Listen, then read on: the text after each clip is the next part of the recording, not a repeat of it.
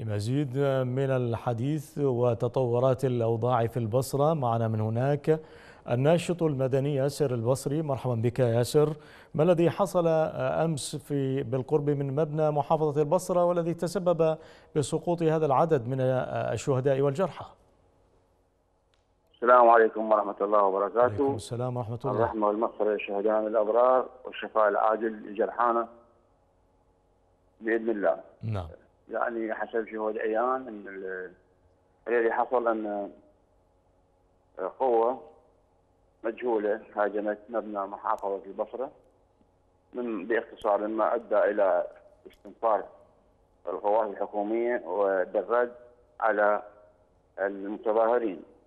أما حسب قائد الشرطة بتصريح الرسمي يقول إن لا دخل لدينا في مهاجمة المتظاهرين ولا أعتقد الأمور ضبابية وغير معروفه في مما حصل في البصرة عدد الشهداء حسب قناة دجلة مع الشهيد وأكثر من 100 150 إصابة من الغاز المسيل للدموع وال نعم. ضربات بالرصاص المطاطي وما شابه ذلك.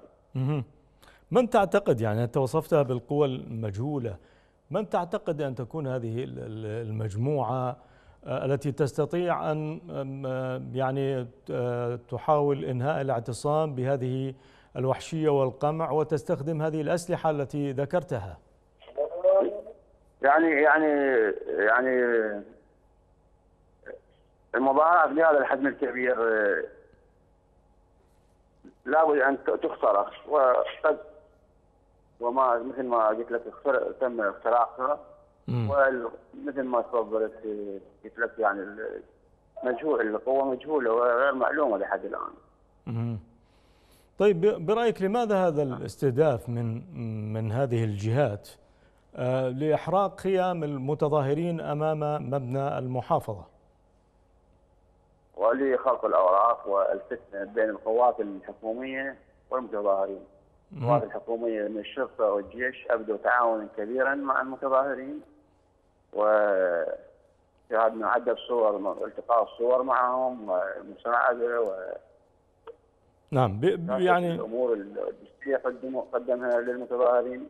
نعم. واعتقد أن الأمور حصلت وأنها فتنة يراد منها آه، أن نعم. يكون الشارع نعم. العراقي دائما في حالة هيجان. يعني بحسب قول الناشطين فإن بعض الميليشيات خطفت عددا من جرحى المتظاهرين داخل مستشفيات المحافظة. برأيك ياسر؟ يعني هذه المعلومة امم تفضل. ما وصلت لي بهيك صورة بس إن اللي عرفت إن المستشفى لم تعد تكفي لعدد من الجرحى والمصابين من حالات الاختناق. هل سيتراجع أيضا المتظاهرون أمام آه، هذا القمع الحكومي؟ نعم هل سيت هل سيتراجع المتظاهرون أمام كل هذا القمع؟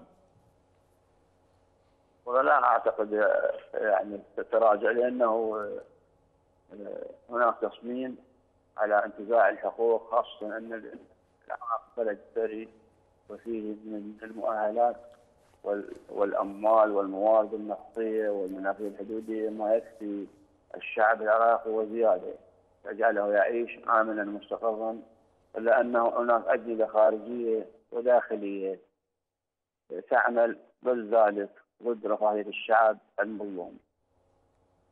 نعم. اذا شكرا جزيلا لك من البصرة ناشط المدني ياسر البصري.